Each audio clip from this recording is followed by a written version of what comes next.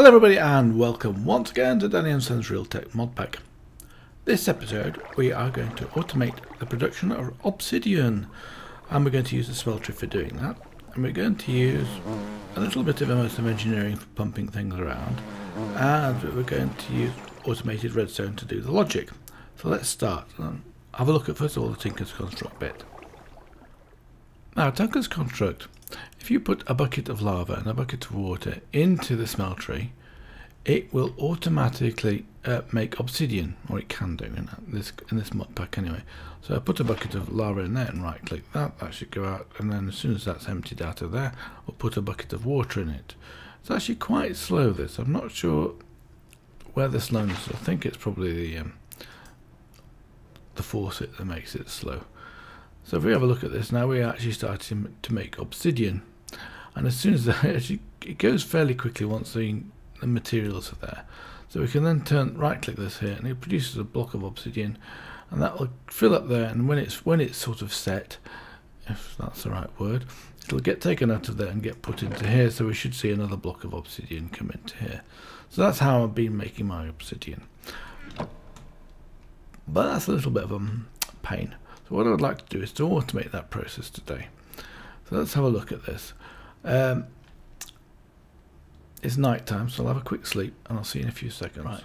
This is where I'm going to do the demonstration today. This is a, the base of a smelter here, so we'll, we'll, put it in. And what we're going to use is we're going to feed these with um, fluid. Now what we're going to do is we're going to use the, um, I haven't got it with me here, well I have actually, it's everything we need in here. So what we can use are these fluid valves from uh, automated redstone. Now, these do not work very well with um, immersive engineering, so I'll, show, I'll demonstrate that for you. I'll show you what I'm talking about. I would like to have a pump and a lever. In fact, I'll take all of those levers with us, we'll see how it gets on. So what I need to demonstrate is why this isn't working. So if we put down a tank here, and a tank here like this, before I do that, I'm going to put down a pump. Didn't pick one. Oh, so, yeah and we're just going to configure this pump so that we can feed it in one side and out of the other side and I didn't pick up my hammer. Like this. So if I shift right click this side it'll affect the other side. So we want the other side to being an input. Oh yes an input and this side will make an output. So right click that twice and then we can put down a tank. Another tank like this. We put a lever onto this now like that. Um, and turn it on. And then as we put a bucket of water in here, I've got I've got a, an infinite water supply just here, so we'll just use this one of these infinite water supplies. And we'll just put a, a bucket in here. As you see, that bucket gets pulled all the way across straight away into this, which is fine. And I was going, okay, that's great. So let's then, I wanted to reduce the flow of this. So I was using the energy valve, uh, the fluid valve for doing that. So what I thought I could just do is to put this down uh, like this. Let's just put the fluid down first. So that's pointing the direction you wanted to go to. Very much like um, a piston or whatever else is the mechanism for putting those down. Oops, I must drop that one, didn't mean to drop that. So let's put that bucket of water back in here again. And nothing happens. And I was going, oh, so then I tried to do it with different techniques. I was using um, tubes and whatever else, or pipes. Let's just have a look at a pipe. Let's put this tank back here now and get a pipe out of the, the chest. I've got some pipes in here from Immersive Engineering somewhere. Here, I've got them on me actually. Let's just put one of these pipes down like this. And that pipe connects to this but doesn't connect here. In fact, it doesn't work at all with the immersive engineering, as far as I can see. It'll work. I think it might work with the drum, with the barrels. No, it won't with the barrels because you can't do the barrels so easily. It's got to use. You've got to use a pipe. So I'm getting a little bit frustrated, as you can imagine. It's a bit awkward when things don't work. I hope they're going to work, but I did figure it out. Let's just remove this pump like that, and this time we're going to put down the um, fluid valve like this. and that's going the right way as you can see. And then we're going to put down the other tank. And just like um, immersive engineering you have to put a lever on this thing when you want to control it. At the moment it's set to being a fluid valve and it's got a flow rate going through here. So I want to increase this fluid flow rate. So let's say 0.2 like this. And then put a valve uh, put a lever on it and then turn it on. And you'll see that the fluid starts to go through here. And it should be doesn't take that long for a bucket but it's going into a slowish rate. And I think ah that's a good way. We can do this and use this as a mechanism for um, pumping water across into the into the smelter and lava at the same time so they're not going too fast so the, the smelter is not getting full of one of the two liquids. That's the design goals. And the next problem was how do I know when a tank is full or empty? Well actually it's fortunate that the comparators do work. So you can put a comparator down here and a comparator down here and then you can put down some redstone which we'll go and get out of that chest because I haven't got that with me. Uh, I can't afford too much to carry too much around otherwise inventory gets completely full. I'll put that down here and this down here and this now has a power as you can see from the one probe window this has got no power so this has got a power of 3 so each bucket of water that we put into here will increase its power. So let's just take some, I think this is, yeah, this is an infinite water supply too.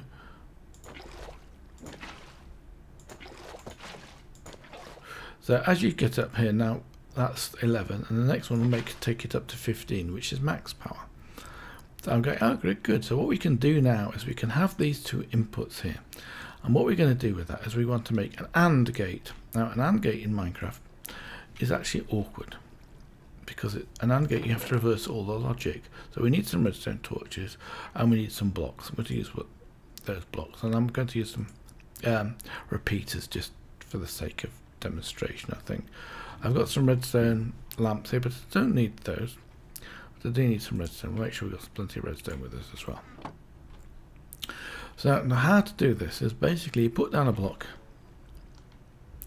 like this here and on the other side here like this and then what you want to do at the other side of this is we would like to put some redstone torches because we have to reverse the logic so we put down a redstone torch in each of these two and the one that's got power on it this one here will turn off the redstone torch. Now what we then do is we take some redstone like this we just put some block of redstone down here and hit dust down here and down here. And then we put another block in the middle of those two. And then we need a redstone torch on that. And that'll actually make whatever input is there is to be output. So I need actually sorry I do need some redstone on top of this as well like that so that then goes off because one of those two inputs is on so let's just then run that down here like this. I can do the same on the other side, uh, which is actually easier for us to see. So I can put that down there and then put, um, I have to be careful here I think. Maybe I can just put down some redstone. Yeah, to put some redstone down like that. So whenever, when this has now got some water in it, so let's put some water into this tank here. Like that. This one goes on and that one comes on because both this one and this one have got redstone. If I remove some of this water from here like this, what happened to that? oh, I think I've got not exact amount of water in here for some reason or other.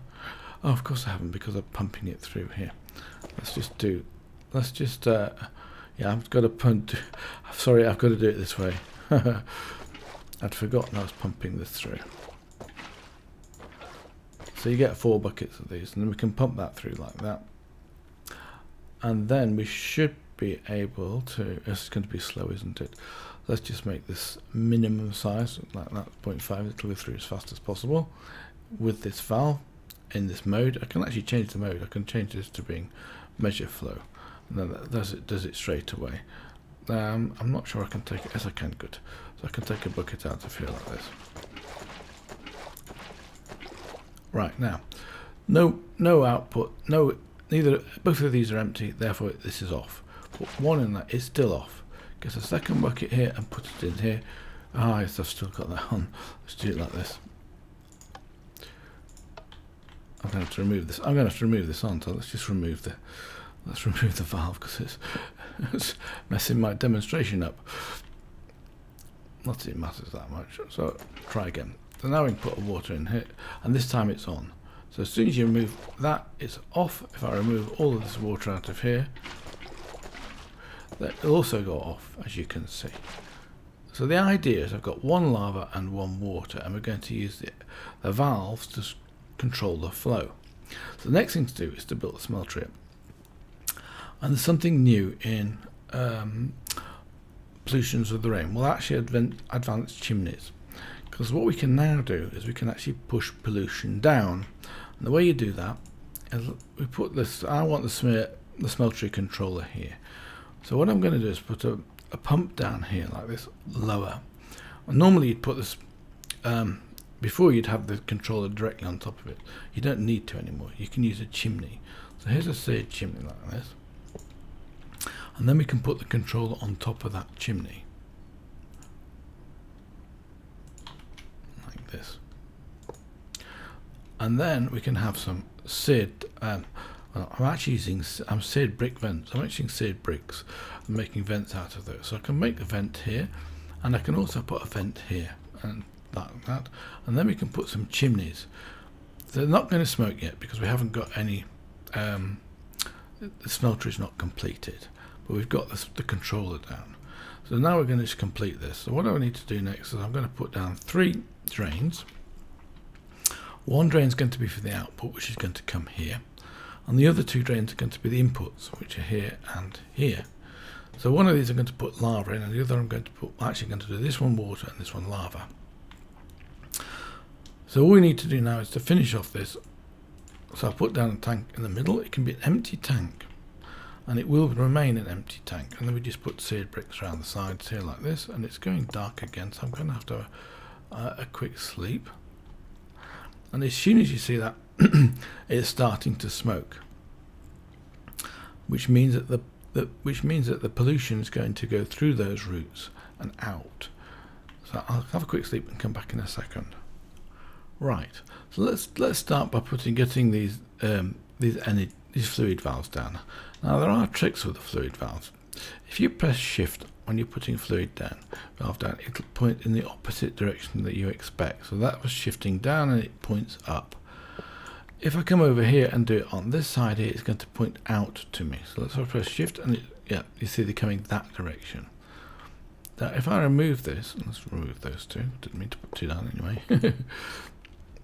and just put it on the, just right click the face of this, it's going to go the direction I want them to go in. So like that. Pretty much well, actually, I'm not quite sure what that's like, to be honest with you, but it, it simplifies putting these down. So we're going to have these here, and then we're going to have a tank. So we're going to use one tank wa for water as the, on this side, as you can see, because I've got the water over here, and one for lava. And then I'm going to basically use those comparators that we've got out of here. Let's get the comparators on the hand. That's relays, comparators.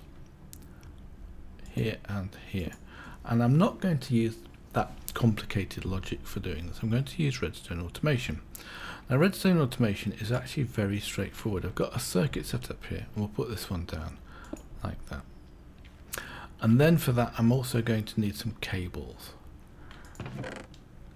And we're going to need a redstone receiver wire, two of those for each side, some solid cables and one redstone emitter. And what we're going to do is we're going to say if this tank and this tank have got water, uh, have got fluid in, then we're going to output a, an emitter signal into this these two devices here. So let's do that. So we put down an emitter here like this, and you'll see it connects to four sides. We don't need it connecting to four sides. It's connecting to each of the two valves, plus the um, plus the seared bricks, which we can shift right click these off, and also into the ground. We don't need that either. There's no reason to have those there. And then we're going to connect this up here. So we're just going to use some solid redstone wire from here into that and that's going to allow this to connect into these two so when this is getting an output it's going to connect these two and they're going to flow at the same time. Now the first thing I'm going to do is I'm going to reduce the speed the time of these ones so increase the time I mean to 0.25 seconds I think is a sensible starting point. I'm not 100% sure. We'll find out. And in these here I thought well you could put down redstone. In fact it doesn't work. It looks like it's working but it doesn't get a signal I'll show you what I'm talking about let's turn this on so it's now running and you'll see there's no signal in here if I remove this one Oh, well, I need to give it some water, of course, that would help, wouldn't it? Let's give it a bucket of water in here. Now it's on. You'll see it still doesn't work. So, you have, so therefore you have to use the receiving cables like this. And you just put those down, one there and one there. And you'll see this is connected. In fact, I have set this up already. So on the north side, we've got input A. On the south side, we've got input B, as you can see, and the output is facing towards me, and I've got there. So at the moment, it's got no fluid in here, so there's no signal coming out. Let's just remove this for the time being because I don't want to. I want things to run at the same time. So the next thing we're going to do is we're going to put into here some water. So we need a source of water. The easiest way to do that is a fluid pump from Immersive Engineering. Now these things, actually let's have a look at it. Let's put it on the top of this here like this. It has an input from the bottom by default. And the outputs are nowhere, so it doesn't have any outputs. So we want to input water from here and output it to this tank here. So we can put this down here like that, and then we can shift right click this with the hammer twice and it'll go to output. In fact, it tells you. So the opposite side is now an input and now it's an output. So if we come along here, we should see an orange dot here, which means it's outputting water. Now, the next thing we're going to do is we need to wire this up. So we need some connect cables and some for this, and we need some a repeater later on. So we've got two LV wire connectors here, um, and some insulated wire. So I'm going to connect this one up first of all. And we're going to connect it across to this one over here because this is high enough and I don't think this is going to get affected by snow. The snow's been a, has been a right pain to be honest with you. It's knocking off all cables and all sorts of things if you don't think about it. And I wasn't. So that's ready, but it's not pumping. It's not pumping because it's not got a lever on it it needs a redstone signal. So we can put a lever on this like this and turn it on. That'll then fill up this tank. Okay, fine. And that tank will always be full. So let's just turn this off again so it doesn't pump any anymore. We know we've got four buckets of water in here. So on the other side, we're going to do the same thing. This time we're going to use um, some B products to actually get this to work. We're going to use phosphor. Phosphor and sand you look at the uses of this, in a squeezer makes lava. I think I've covered that before. And the phosphor is coming from simmering comb. If you look at the uses of the simmering comb in the centrifuge, it produces refractory wax, which is basically fireproof stuff, and some phosphor. So you get a 70% chance of 2. So you get a lot of output from this simmering comb. The comb comes from three different types of bees, sinister, fiendish and demonic.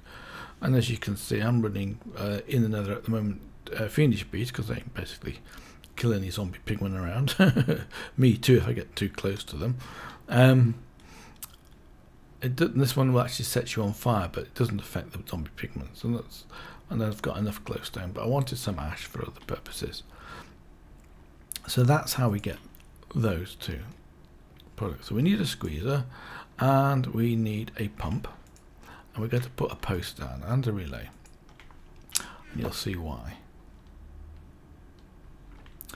So what I want to do is I want to put on here a pump. So let's do that first of all.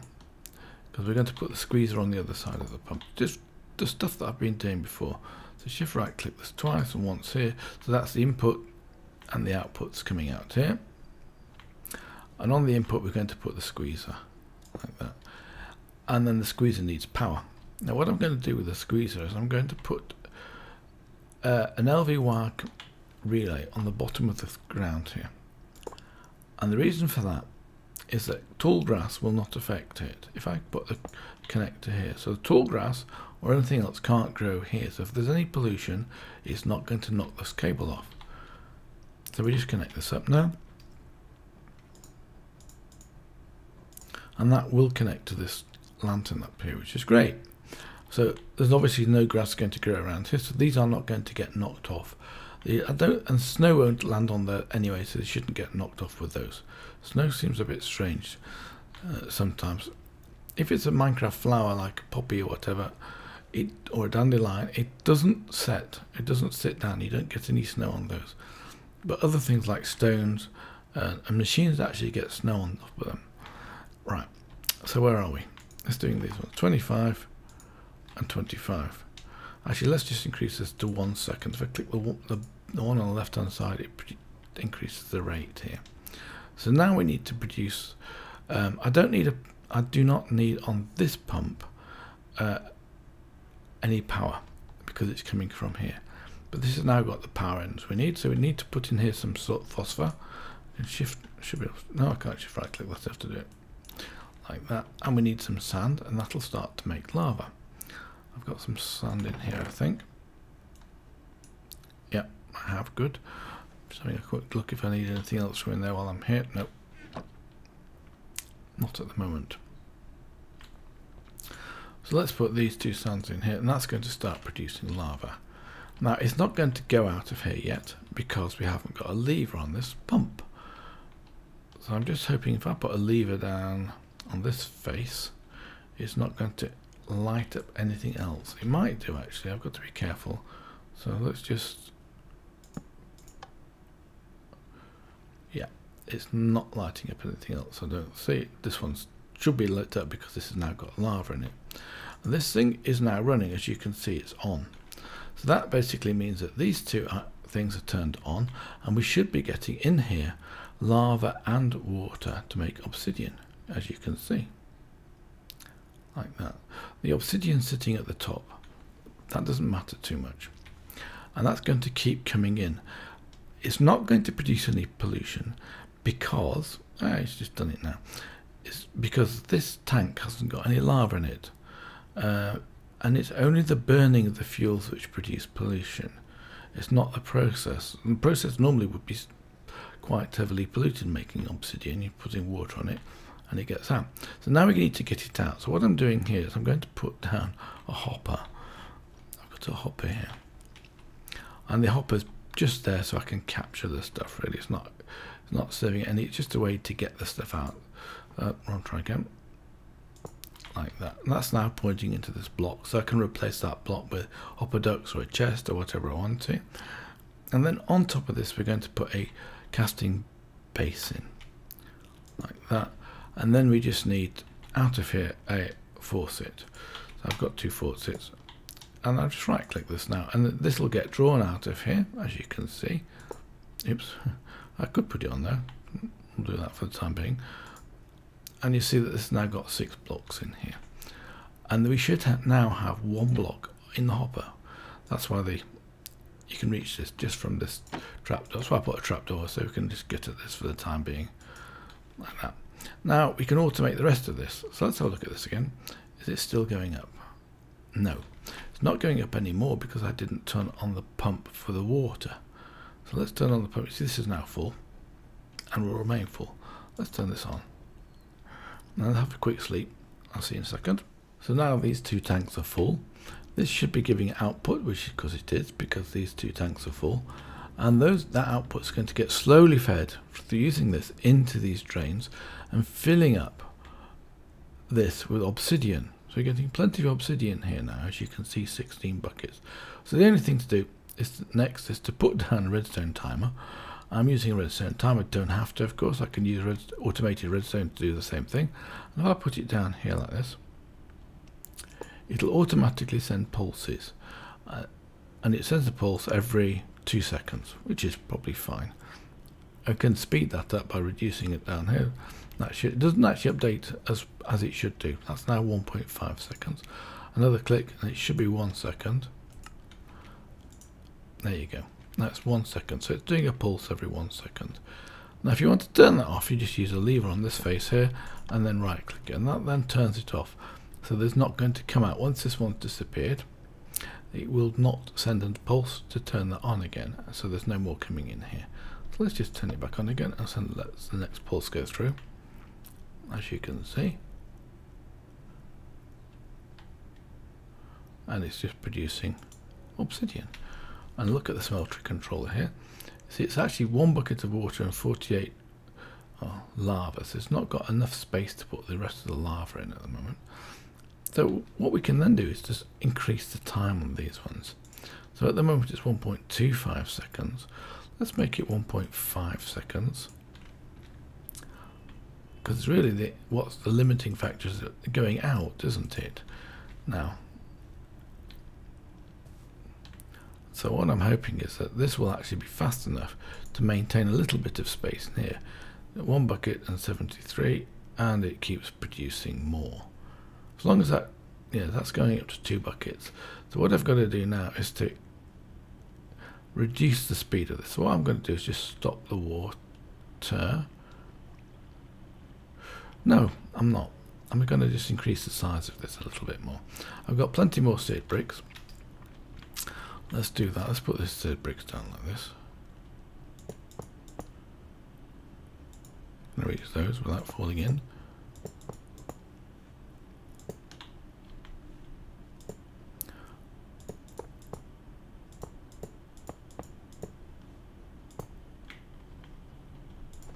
Oops.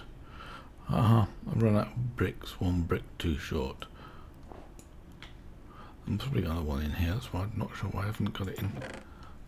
Yep. One seared brick two. For some reason I didn't pick up that one. Oh. Let's put that down here like this. So then the smeltery gets a, a, larger capacity. And what I do with this next is I just cover it up. So let's just cover it up. Put one um, seared brick slab down here like this. And then come across that, that. Then we can pick this one up. And then just cover it up completely make it safe make sure that nothing fall going to fall into it. And then that's that job done. But there's one more thing to do and that's to cover up these two blocks of water. Uh, what I can use a lever for. Let's take this lever off here. Put this lever back onto this side here like that and turn it on. And then over this side we're going to put a slab um, I think that's probably the best thing to do. Then they are at least consistent. We can see that those are going through. I'm just going to get some slabs and I'll come back in a second. And of course the reason I'm doing that is so the water doesn't freeze. So that's it. So there should be no, nothing else now. It should just carry on making obsidian while we've got uh, lava and uh, materials in here. As you can see, it's yes, it was a little there, says tanks full, which of course it is, because it's not coming in that fast is producing it and hopefully over time let's have a look at this now. Two buckets of water and a little bit less so I've got one extra bucket of water. Not a big deal I can fix that. And initially you probably will get that case. We just take a bucket of lava out of here come along here and right click that and that'll fix that for us for the time being if you need to repair it. So now I've got basically one bucket of that and 93 millibuckets of lava in it. So if it gets full, it's a problem. So we're 27 blocks, I'm going to have to leave this for a time and see how it carries on. Um, if, the, if the worst case is the worst, I'll just increase this by another little bit to make it two seconds. And the same with this one. Reduce the speed. Now the other thing I can do of course is to set up another another casting basin and put it down here uh, with another faucet and that'll then double up the output of this. Uh, how much are we doing now? Got 28 blocks of obsidian. Well that's it for this episode. I hope you've enjoyed it.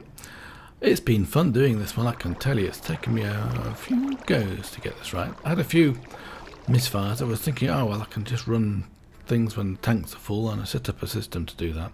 I haven't shown you the redstone automated bit for this but it's very straightforward. It's just two inputs, one output and one AND gate. Um, and that's it. So until next time, I think we're going to have to do some more immersive tech stuff because it's got a load of generators uh, and the diesel gener- the diesel engine is really quite a beast and does have a lot of requirements. So I'll see what we've done that already. So the diesel gen, the other ones like the solar panels and whatever from Moses Tech, I'll have a look at. So until next time, bye for now.